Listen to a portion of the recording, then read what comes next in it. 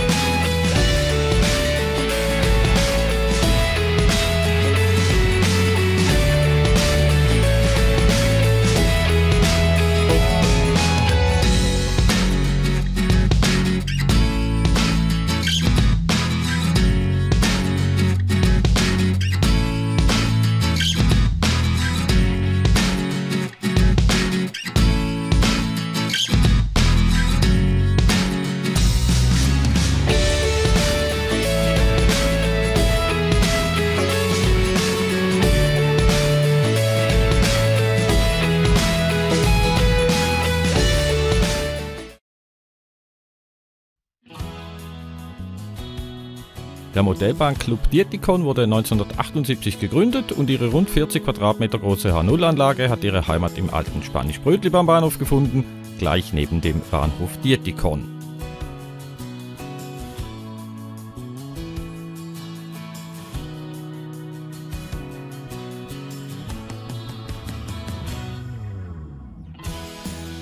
Tag-Nacht-Wechsel, selbstfahrende Autos, Knöpfe um Aktionen auszulösen, zum Beispiel ein Lagerfeuer, das plötzlich anfängt zu brennen, dies aber natürlich nicht richtig, sondern dank LEDs und Dampfentwicklung.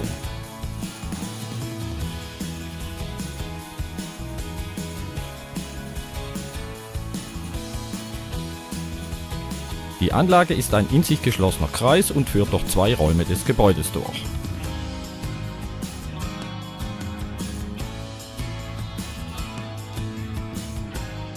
Einmal pro Jahr findet der Tag der offenen Tür statt, an dem alle Interessierten eingeladen sind, die Anlage zu besuchen, natürlich kostenlos.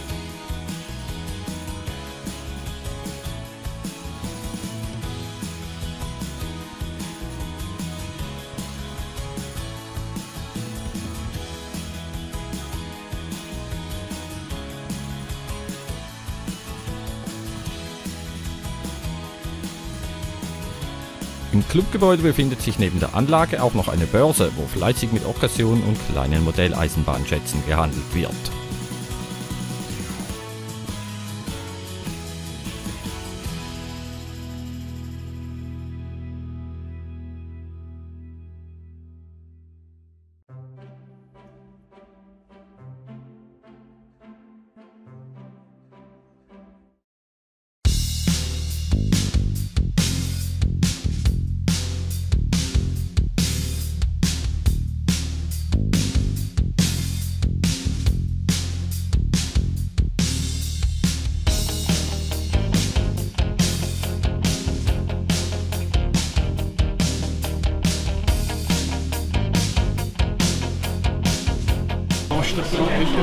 So, ich stelle jetzt mal hier die Anlage ein bisschen um.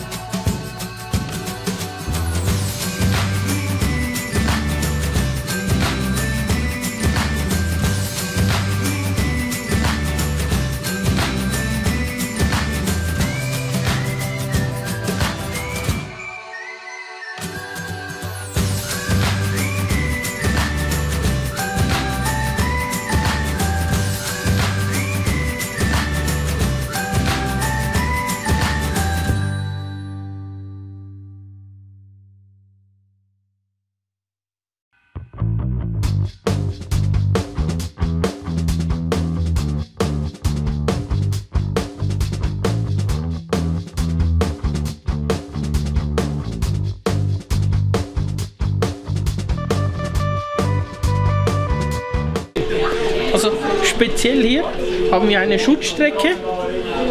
Die hat es bei der SBB von, von einem Stromkreis in den nächsten. Da muss der Lokführer den Hauptschalter rausnehmen, mit Schwung darüber und dann wieder einschalten.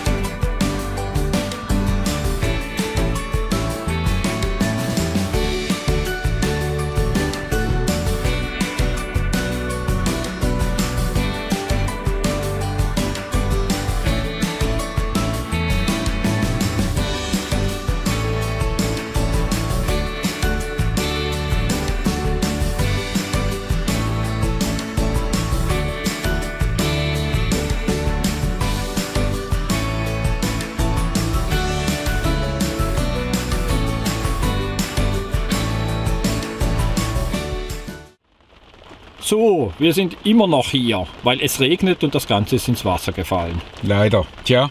Nein, Regen. blöder Scherz.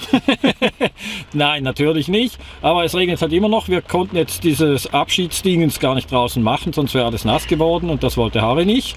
Genau. Nein, geht, geht ja auch um die Kamera etc. So, jetzt wie war's? Ja, ihr habt ja im Video gesehen. Also ich fand's cool, ich fand's sogar klasse, muss ich sagen. Diese Anlage, das ist wirklich ein Schmuckstück. Wenn man halt Modelleisenbahn mag, es ist wirklich, man möchte es nach Hause nehmen, am besten irgendwo im Keller oder auf dem Dachboden sich hinsetzen, Kaffee trinken und einfach ein bisschen gucken, wie die Züge fahren. Und es war sehr, sehr nett, was die Leute angeht. Äh, vielen Dank nochmal an Alvin und auch an den Simon natürlich. Ähm, ja, vorbildlich, gastfreundschaftlich würde ich sagen. Absolut, also sehr, sehr nette Leute. Ähm, ein sehr großes Wissen, würde ich mal sagen, Ja. was äh, richtige Züge, die so rumfahren angeht äh, und auch natürlich die Modelleisenbahn selber. Ja, und vor allem ganz krass ist, das ist ja am Bahnhof hier in Dietikon und hier ist der Durchgangsverkehr nach Zürich. Äh, was hier an Zügen durchgefahren ist. Also einen habe ich noch erwischt, so eine alte Dampflok. Ich glaube, das, das schneide ich noch rein, wenn es eine gute Aufnahme wurde. Äh, aber jetzt habe ich gerade noch einen TGW gesehen, ich habe einen ICE gesehen, ich habe alles mögliche an Zügen gesehen, die ich noch nie gesehen habe. Immer nur im Spiel drin bei Transportfieber, da sehe ich die. Und dann, hat es immer geheißen, ja, fahr halt mal nach Zürich, da siehst du alles Mögliche. Jetzt habe ich allen Ernstes, als wir hierher gelaufen sind, zum Auto zurück, zum ersten Mal einen TGW gesehen. Und dafür muss man nach Dietikon, das hätte ich jetzt auch nicht geahnt. Ist interessant, ja, aber die, die fahren hier wirklich im Minutentakt. Ja, also nicht gerade die TGWs, aber allgemein Ja. die Züge hier durch. Also der Bahnhof ist nicht so riesig. Nee. Dafür ist er aber sehr gut frequentiert, würde ich mal meinen. Der ist tatsächlich kleiner als der, den wir in Rorschach haben. Aber in Rorschach Mhm. haben wir nicht annähernd eine, so eine Schlagzahl, was die Züge angeht. Mhm. Aber eben, es geht eigentlich um den Modellbahnclub. Das ist jetzt nur noch so nebenher aufgefallen, weil eben geht man nach Dietikon und sieht zum ersten Mal einen TGW. Das muss man jetzt auch erstmal runterkriegen. Aber zurück zum Thema Modellbahnclub Dietikon. Eben, wirklich sehr schön. Ich würde euch eigentlich gerne empfehlen, dass ihr das auch mal besucht, aber das geht eigentlich gar nicht, weil das ist ein, ja, ein geschlossener Verein, wenn man so will, kann man dem so sagen. Und die haben einfach einmal pro Jahr Tag der offenen Tür. Also wenn euch das interessiert, die ihr halbwegs in der Nähe wohnt, dann guckt vielleicht mal nächstes Jahr wieder im September, August, ob die nicht einen Tag der offenen Tür haben. Dann könnt ihr nämlich auch gehen. Hm? Lohnt sich auf alle Fälle, Ja. würde ich mal meinen. Kostet Also, auch keinen Eintritt. Also. ja, genau. Ist eine mit sehr viel Liebe gemachte ba äh, Modelleisenbahn. Also doch, sehr schön. Ja.